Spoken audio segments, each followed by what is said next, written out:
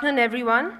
I, Athena Gracious, deem it a privilege and my absolute pleasure to introduce to you Mr. Gautam Sinha, an accomplished HR professional with over 17 years' experience. Gautam Sinha, sir, is currently the Chief People Officer, Century Textiles and Industries Limited, Cement Division. Without much further ado, I would like to invite Gautam Sinha, sir, to address the gathering. Very good afternoon. So uh, it's a real privilege uh, for me to come and address you all. And, uh, you know, uh, it's always a real privilege in terms of, you know, coming and uh, meeting Bala sir and the great institution he is building up, uh, which is, you know, so many institutes. I was just going through, and every time when I come, I see a larger and much more energetic force here. Uh, so the topic which is there uh, is in terms of challenges in the business environment. Uh, so let me ask you a question and uh, so I'm just putting a disclaimer here that all these views are my own personal views because you know the world is now changing and every time when you present you need to have a disclaimer in place that these are all my personal views and nothing to do with the organizations I'm working or I've worked with. So let's understand and ask few questions and that's a great start which Bala sir has done in terms of you know asking and challenging you all. So what is the business environment according to you? Let me ask you a fundamental question. So topic was in terms of business environment. I'm sure for last two and a half days you have been listening many things. So anyone what is the definition or your understanding on what you call it as a business environment? Please raise your hand and stand up and speak. Yeah, yeah.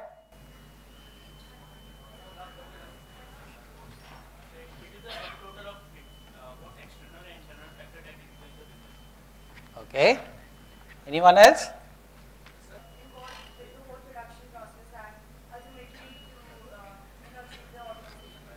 Okay, that's good. And what, what do you mean by challenge? What is the meaning of challenge? Every time you get challenged, what is the meaning of challenge? Yep. Good afternoon, sir. My name is Gaurav Verma. So, sir, internal and external factors that are affecting the business, and those factors, the how to cope up with those uh, factors is a, is a challenge because uh, the wo- uh, the world is changing drastically and exponentially. So, it's very tough uh, to go with the pace of this world uh, in terms of so- socio-economic, in terms, in terms of political, in terms of geographical, any terms. we can talk. Okay, okay. Yep. Sir, a challenge is an obstacle which can uh, arise due to various aspects. For example, a challenge, big challenge right now in the Indian economy is GST, which uh, with which the businesses are dealing because their stock is lying in the godown or at the um, at the, at the import ground itself. People- are not picking it up, so their manufacturing has stopped right now because the uh, goods are not being consumed so easily. So that's a Okay. challenge for them right now. So, and in terms of other, you know, internal factors like my colleagues mentioned right now, a challenge is uh, can arise from uh, an industrial dispute. So what is the definition of challenge? So, a challenge. Uh, You are taking my presentation, so I, that's why I'm changing it. What is the definition of challenge? sir, it is uh, an obstacle that comes up, and uh, you know, you need to fight with that. So, it's a challenge. Okay. So let me take you through what is the definition which is there and some of you are very right. It's a combination of internal and external factors that influence a company operating situation. That is the meaning of the business environment. And challenge is a call to someone to participate in a competitive situation or fight to decide who is superior in terms of ability or strength. I thought these were the definitions which are there and it, in the today's context if you look at there are a lot of meaning and lot of challenges in the business environment which we all are facing. And to start with, I'm sure most of you will be knowing what is SMAC, which is changing the whole world, which is there. What is SMAC? Anyone? Who wants to? Okay. Is it application or is it analytics? Come on, yeah. Need to be clear. Okay.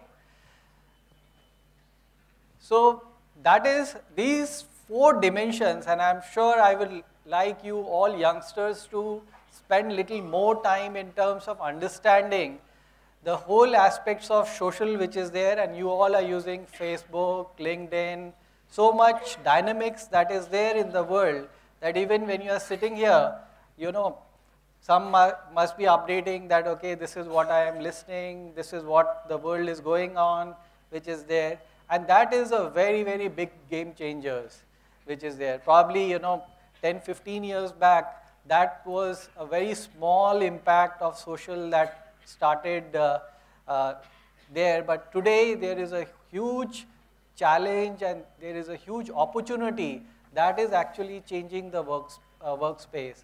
If you look at the mobile, like, you know, all the organizations which is there or as well as all, all of us can't live without mobile in today's context. If I look at, and I was just reflecting on, probably 20 years back when I started my career, we hardly used to see a mobile phone.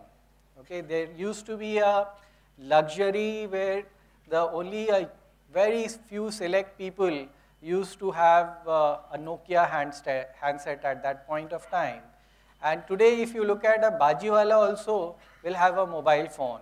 And you know, uh, uh, if you are out of it and if you don't have, it's a, it's a huge challenge.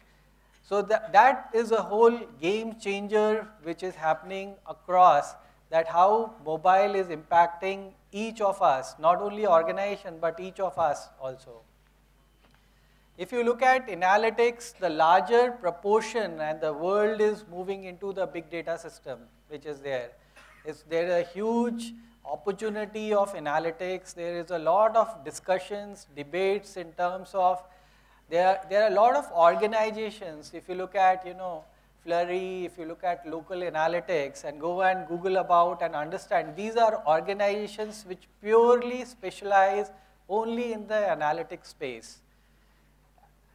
So organizations are not only moving from what we used to call it as a predictive analytics, but it is now moving to a prescriptive analytics. If these are the trends which are there, this is how the, you know, the output will be there. If your attrition data, if I look at HR as an area, if this is your trend in terms of attrition data, these are two or three as a prescriptive output.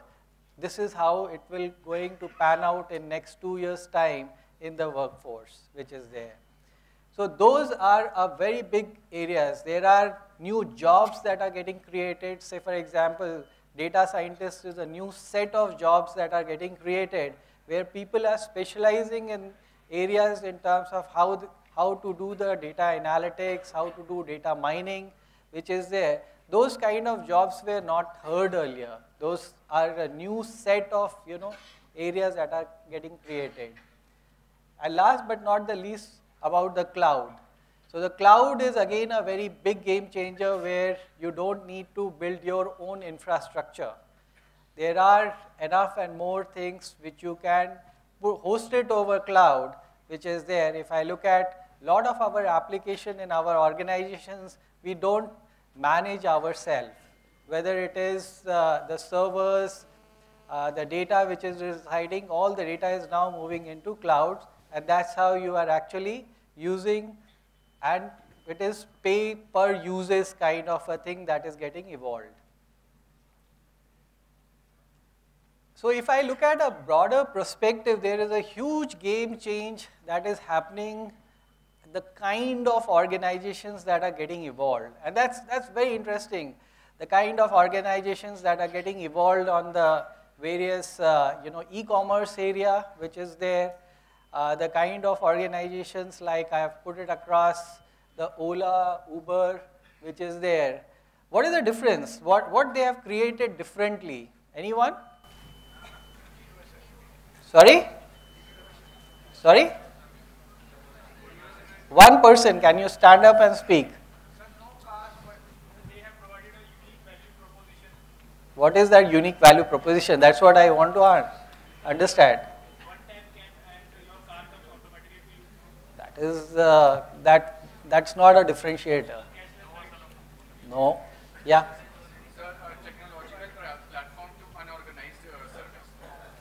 No.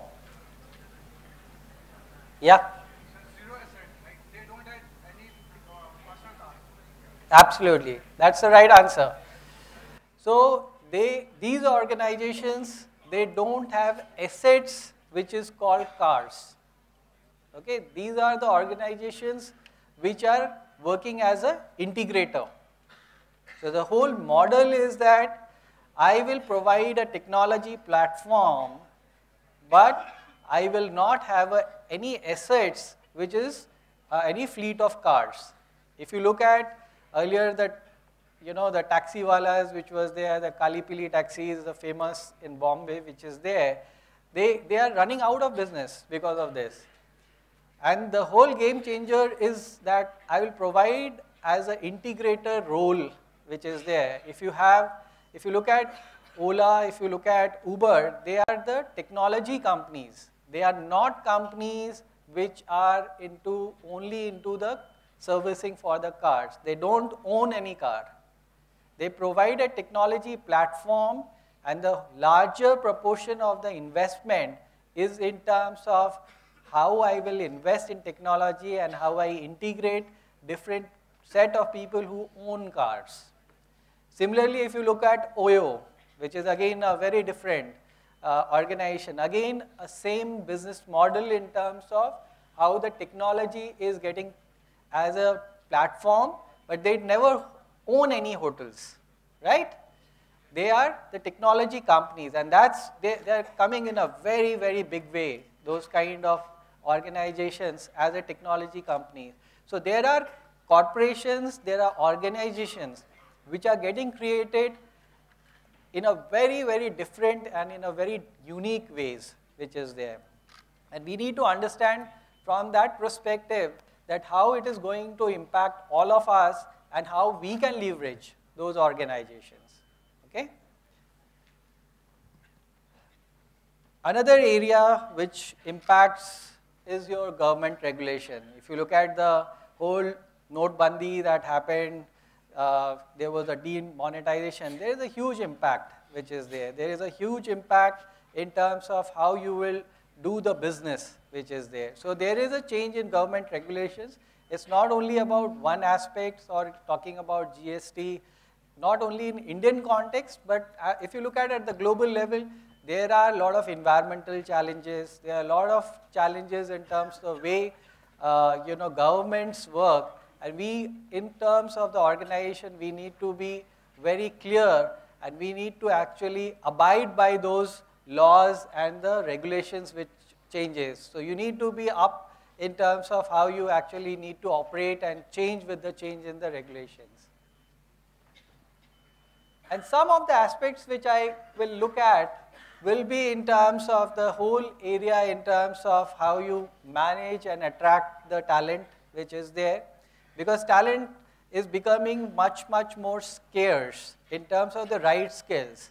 You may have, especially in India, a lot of talent which is available. But when in the organization, when we look at very, very specialized skills, say for example, if I look at that do I have a person who have much more deeper expertise in supply chain, in terms of you know deeper expertise in terms of mergers and acquisitions in finance.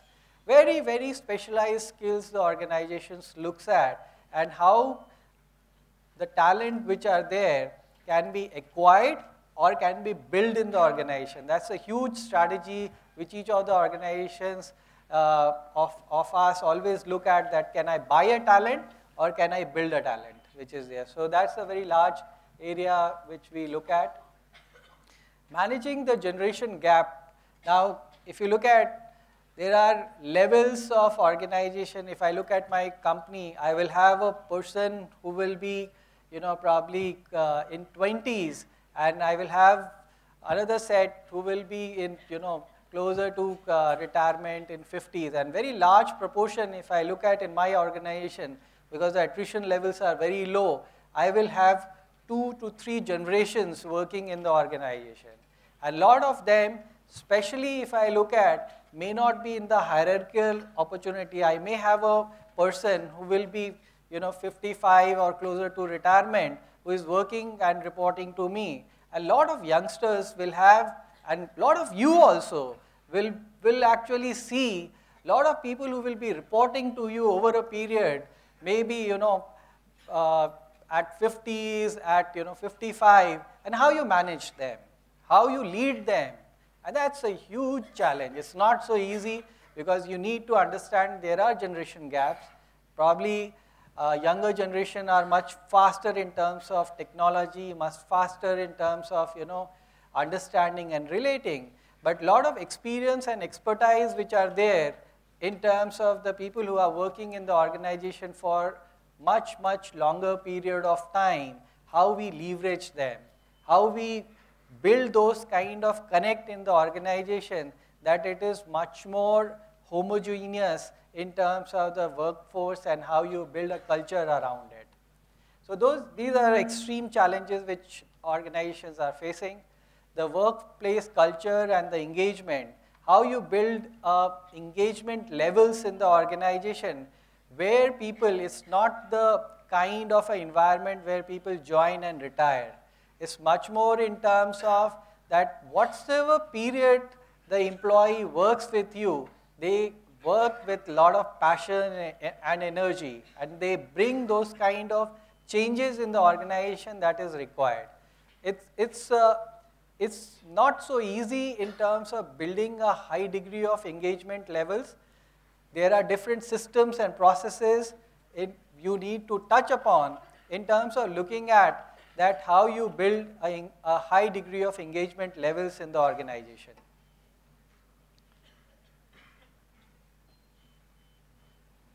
Now this is a very interesting challenge which is there and uh, you know we were doing some research and I thought I will just put it across. Now the generation which we are working in and the time frame which we are working in, if you look at most of the learners won't watch a video more than four minutes. You get bored. You will, you know, switch on and switch off to something else which is there. And that's a, uh, you know, challenge which is there. A lot lot of attention deficit that is happening. People unlock their smartphones up to nine times every hour. That all of us do. Imagine that, you know, every hour we are actually unlocking and checking what is the message which is coming, what is uh, the email that is there. You know, online design, designers now have five to 10 seconds to grab users' attention. And that's the signal which is there in the online terminology it is said that you know everything on your website has to be one or two clicks away. That's how you know the websites of e-commerce getting designed because the attention span of any user is very very short, which is there. So if you look at at overall, there is a lot of we we are all getting completely overwhelmed. You know, at the end of the day, if you if you look at the workforce which we are managing, or even in your student life, when you uh, look at, there is lot of things we are getting overwhelmed. Probably, you know, 25, 30 years back, that kind of information flow was not there. That kind of attention deficit things were not there. If you look at, you know, probably as a television channel, there was only Doordarshan. And you had only one movie that was uh, shown only on Sundays to a world which we are living in where you have, you know, more than 400, 500 channels. You are on a digital platform where in a click of a button you know what is happening around the world which is there. Uh, you are connected to so many people that you know if you send any wrong messages, it goes viral. So you, we all are living in a world which is very, very overwhelming and very, very, you know, it, it creates a lot of anxiety it creates a lot of challenges. Like, you know, I was reading today in the newspaper the whole story about the blue whale. Eh, we probably, you know, would not have encountered those kind of issues which, which now the youngsters are, uh, in, uh, are challenged in terms of, you know, and, and all those things are coming that, you know, is showing up in a particular situation, put it across to me that I am a brave. Okay, I have a courage and I want to do, uh, you know, uh, you know, a, a, a, a thing which is, uh, which is, uh, you know, life-threatening, which is there, and so much of change which is there in terms of technology, we all are getting much, much more anxious, which is there. How to manage a workforce which is there where sorry where the you know the workers or all of us are interrupted in every 5 minutes i get to know about my colleagues when they say that you know what i have planned at the beginning of the day i'm unable to finish because there are so much of disruptions that are happening maybe a call from the seniors maybe a call from the you know, uh, channel partner, maybe a call from the, uh, you know, uh, some employees, and lot of things as a, as a management which is there, it is getting challenged. The way we used to work, that itself has changed. If you look at the, you know, we are completely time strapped. Two-thirds of knowledge worker complain that they don't have time to do their jobs. I get so much of queries that, you know, Gautam, I don't have time. I don't know where the, you know, when I come in the morning, I'm busy throughout the day, but I'm not able to finish my work, which is there. What I've started uh, as a key agenda, there are so much of emergencies and disruptions, how I can change those pieces, which is there. So that's the world which we are living in. And one of the thing which is there and which is the you know terminology which is catching up is about the mind, mindfulness. You know what is mindfulness? Anyone? Anyone? I thought you guys must be, you can Google it and read it about the whole aspect and the concept of mindfulness is about understanding and appreciating what is happening around you and within you. Okay, if you are aware of that and if you appreciate that, okay, these are the challenges which are there outside you and within you, then you can take a concrete step. And this is a very, very powerful, you know, science or the aspect which is getting developed. So I will encourage you to read it about it and you can you know learn and you can you know use it in your uh, work life. Uh, that will be really helpful. So now coming to uh, the company where I'm working uh, is uh, Century Textiles and Industries and I'm taking care of the uh, cement business here. So I will take you through the journey which is there so that you will able to connect few of the challenges which we are facing and how we are building up this organization. Can I have the AV please?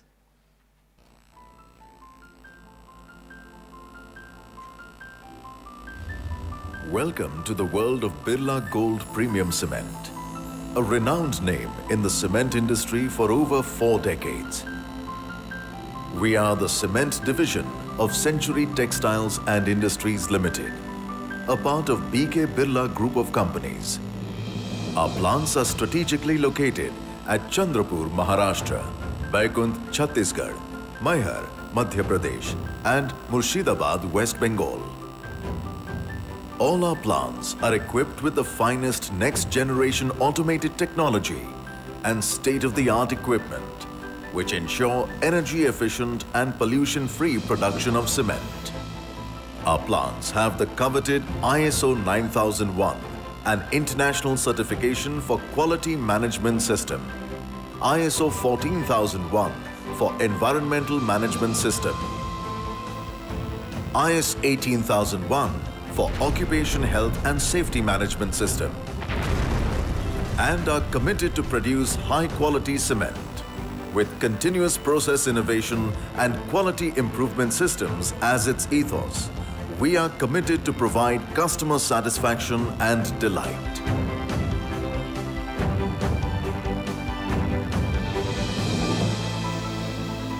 The entire production process is monitored by a central control room, which ensures that the cement goes through numerous quality checks to maintain the highest quality standards.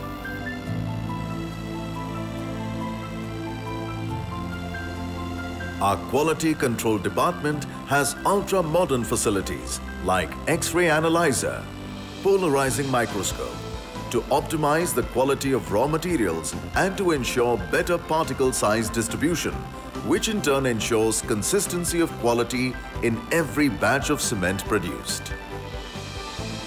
Due to high compressive strength and low heat of hydration, structures made with Birla Gold cement are more durable.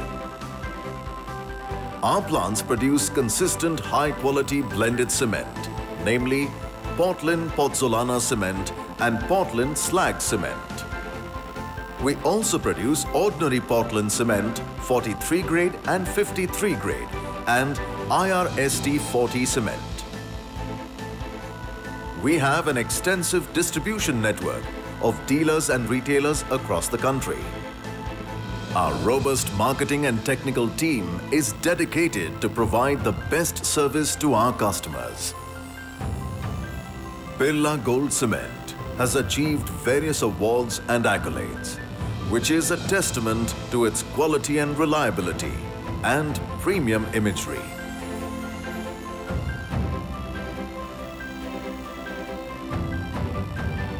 Birla Gold Cement has also been in the forefront of various social service and humanitarian causes.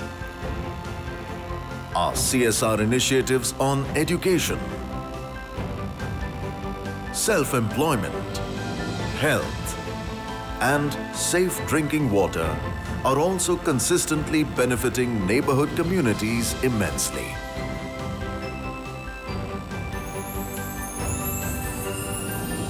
Birla Gold. Build with gold.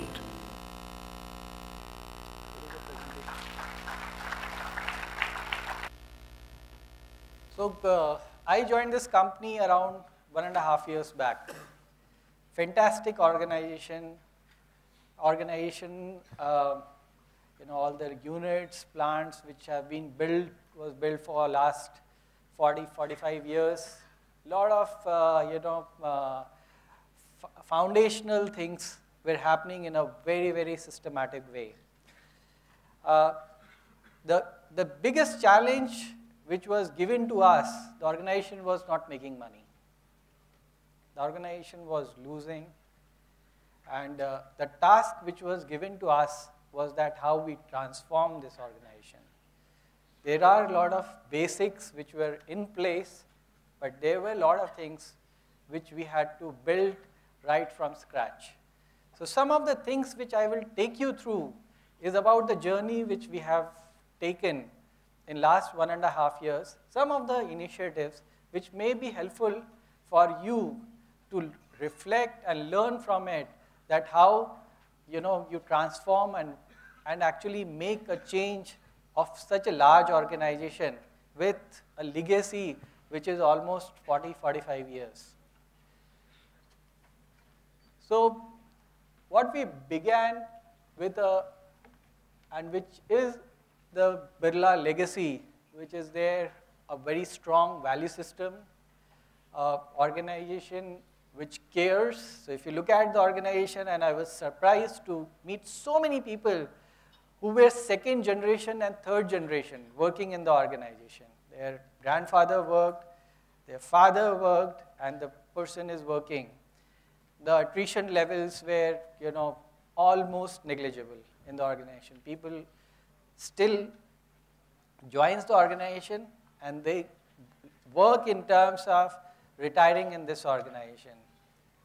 If you look at, there is a whole aspect of the philanthropy which is there in terms of building the nation. So there is a tradition, there was a lot of investment in the core technologies. So it was not a traditionally run organization on low technology. If you look at the plants, one of finest plants in terms of the technologies that has been implemented. And the trust factors were extremely high. And those were some of the fundamental things in the culture and the ethos we wanted to conserve and we wanted to build from that. So overall, there is a whole heritage which is there of four decades which is there of all these four uh, units which we have. Now the challenges which we faced was about bringing a change. The change which is there was need to be in a very, very systematic and in a very, very focused way. When I joined, I, we all got overwhelmed of the number of changes that was supposed to be managed, which was there, which was supposed to be brought in from the organization, which was extremely hierarchical. I, I went to the plants and people were extremely skeptical even to reaching me out and discussing the things. Everyone was little apprehensive that, you know, what is going to happen and what this change is all about. So the anxiety levels in the organization were extremely high. Uh, you need to bring out change in terms of looking at that, you know, what fundamentally we need to bring change and where the interventions has to be brought in. Not everything in the organization is wrong. There are certain things, if you make those changes, it brings a very faster results. So we focused on what all changes we need to build on. Second aspect was the whole brand positioning. Frankly, I never heard about this brand Birla Gold. I always heard different brands. When I reached and when I realized that, okay, this is a brand which is very, very popular in the, in the you know, central part and in the eastern India, which is there. And the whole repositioning of the brand was a, another challenge. The organization earlier focus was in terms of volume and reducing the price and you know, selling the product at whatsoever quality that was there. We worked in terms of repositioning the brand and we said that this brand will, will create a brand which will be a premium brand in the cement sector. We will focus in terms of creating a very high standards in terms of quality, but we will command a price in the markets which we operate. And that was a huge shift from a brand which was low price premium brand in the market and how you reposition the brand in the market where you command a premium which is there. And that's the journey which uh, we are in. The whole investment was in terms of the technologies which were primarily in terms of the manufacturing technologies were there. But in terms of the IT technologies, in terms of how we connect and build those collaborative tools in the organization, we had to build right from the scratch, which is there. So we invested heavily in terms of how we put it across. We had a SAP system, and when we looked at in terms of that, okay, it's little outdated and how we want to put it across uh, a new technology system, we have implemented SAP HANA and to, to a greater surprise, the whole technology which we have implemented of SAP HANA is the fastest implementation of SAP HANA globally. So we have implemented SAP HANA in two months, nine days, where SAP team came back to us and said, look, this is the fastest implementation not only in India, but the globally, which is there. And that is the same team who were with us and who worked in terms of implementing uh, the technology network. The whole focus is in terms of how you actually improve the performance and how you build the internal capabilities in the system which is there. So some of the initiatives or the big shifts which we did, which I touched upon, that we focused heavily in terms of the quality, quality of the systems, processes, and the products which are there. There's a larger focus in terms of the brand, and we focus in terms of driving a performance culture. So it is not about loyalty, it is about the performance which is there and how you deliver the performance on the ground. That's the whole culture and the systems you build in the organization.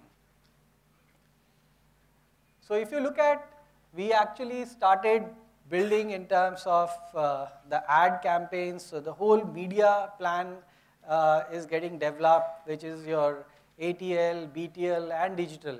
The whole space in terms of marketing we are looking at.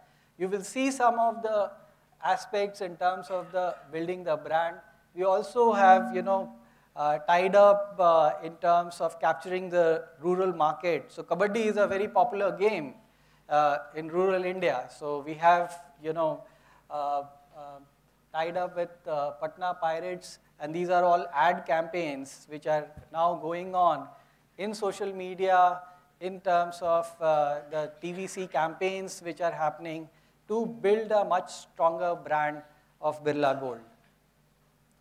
If you look at in terms of the softer aspects, we are looking at that, okay, what is the cultural shift we have to bring and how we bring organization which is far more, more focused in terms of uh, the, you know, the ethos, the stability which is there to a shift in terms of building a high performance culture.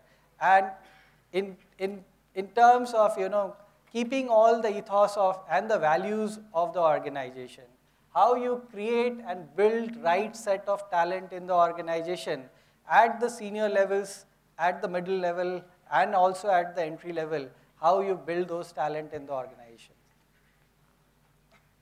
so we have created this is the you know one of the engagement as a reward and recognition we have created called udan the whole aspect was in terms of bringing organization together in a very informal platform.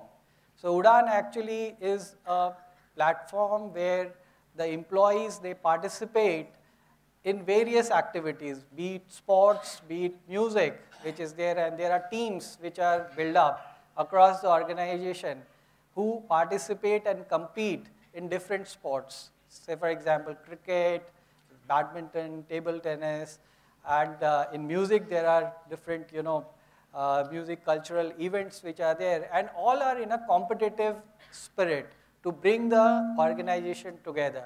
So one of the launches which we did, the pictures are there.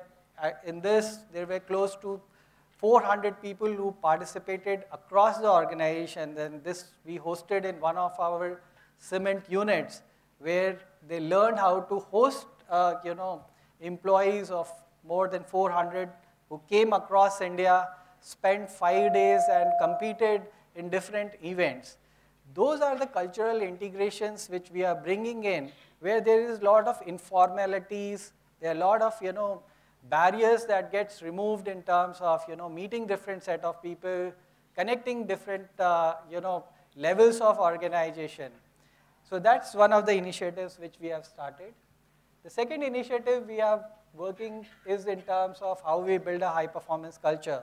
So we call it as a CEO performance league, where different functions will compete in terms of what targets they are going to achieve.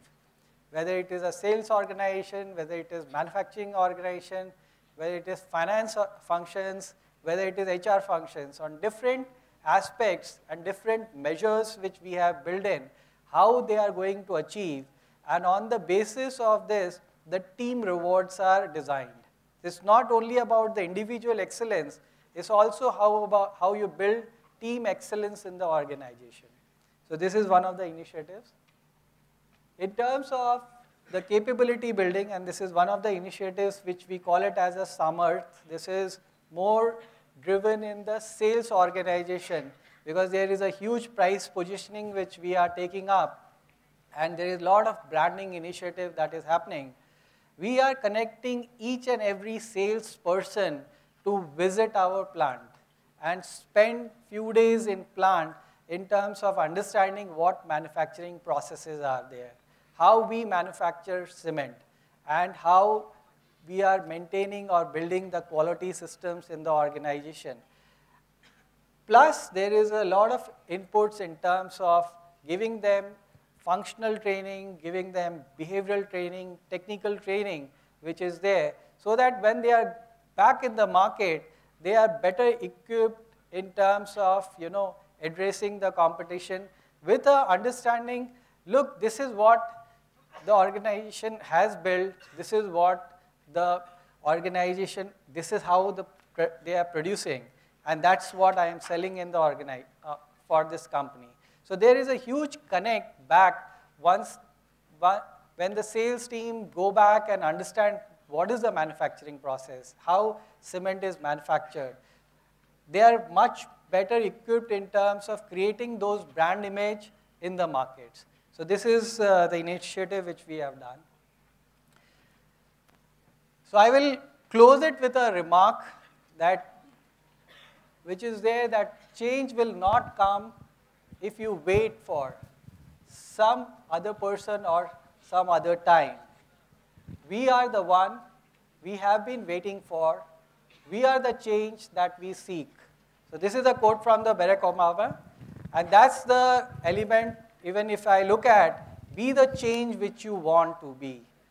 And that's the piece which I will leave a message to you, that if you want to make the change, the change starts within you. It doesn't start around you. You have to make the change, and you have to lead that change. Thank you.